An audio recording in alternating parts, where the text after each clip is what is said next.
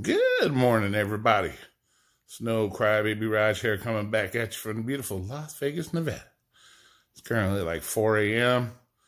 It's 82 degrees out there. It's kind of nice out right now. But I'm in, in my house chilling. Um, thought I'd make a, a video. Um, because every once in a while, you'll get some fanboys in here from other rideshare channels, you know, that, you know, feel the need to, that, you know, I guess because I'm currently deactivated um, for less than a month. That you know, I, maybe I don't have the right to speak on rideshare. You know, like I said, I've done it for did it for three years, over twelve thousand, you know, twelve thousand five hundred rides. So I definitely have my room to speak on the shit that I see. And most of the time, if you watch my videos or anybody with a fucking brain that watches my videos, most of my videos are based on content that I see on other people's channels and it's not necessarily, you know, strictly giving tips on rideshare. A lot of it is just the BS that you constantly see on rideshare channels, you know, whether it be, you know, people bickering back and forth doing stupid shit or, you know, people picking on other people, which that kind of shit just bugs the shit out of me because it, it just shows you're nothing but a bully and that you're insecure about yourself. Um, because if you knew what you were, if you're secure with yourself, you wouldn't have to, you know, deal with stupid shit like bickering back and forth. You know what you're capable of doing, and that's all it boils down to. So there's no reason to even answer other people's stupid shit. But every once in a while, you get these fanboys on here, which, I, you know, like I said, I don't censor anybody. Feel free to say what you want. Um, if you feel I don't have the right to say anything about rideshare, feel free to say it. But my numbers, you know, they stand for themselves. And I'm going to show some of those numbers. Normally, I really, I'm not about having to brag about shit or you know, this or that. Um, but I'll show some of my numbers. I'll put some screenshots in this video um, that will, um, you know, pretty much show what, you know, I did here in Vegas. And you got to really take in the Vegas market, for example, when you look at these numbers. Um, in the Vegas market, you're allowed up to 84 hours a week of driving. Okay. I only did Lyft, basic ass Lyft.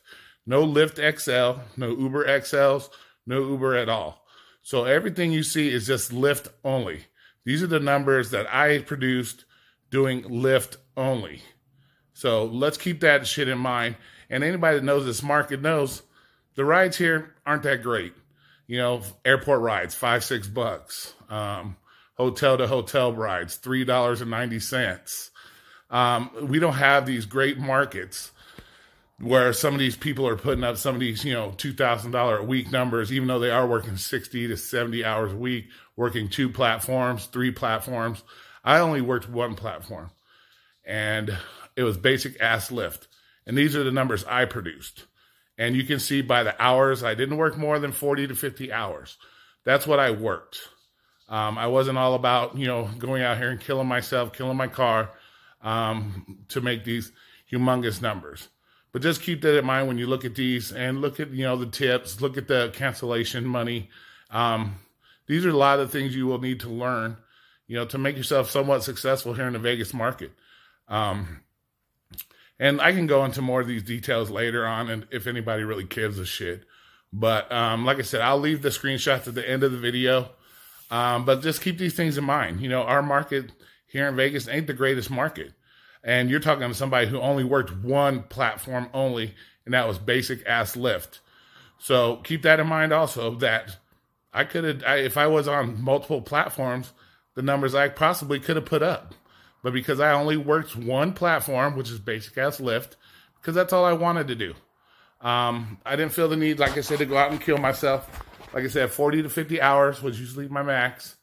Um, but this is for those people that obviously think that um, because I don't currently drive that I must not have anything to say or I'm not on point as it was put um, because I put a video about a couple people bickering back and forth that somehow makes them more special because um, you know they're currently driving and I'm not.